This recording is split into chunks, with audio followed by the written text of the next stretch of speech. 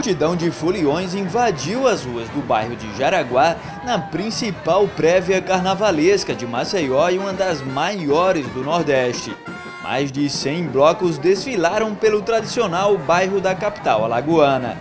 Um dos blocos mais animados foi o Filhos da Pauta, que estava há sete anos sem desfilar e que voltou para as ruas justamente no Jaraguá Folia.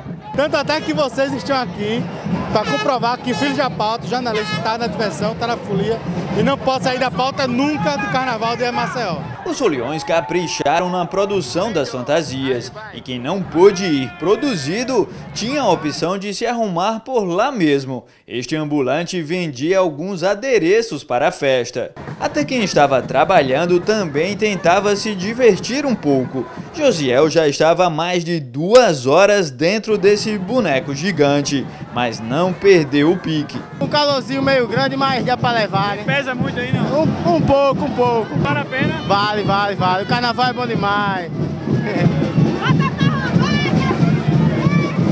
Um dos blocos mais esperados da noite era o Filhinhos da Mamãe, que há 34 anos desfila pelas ruas de Maceió.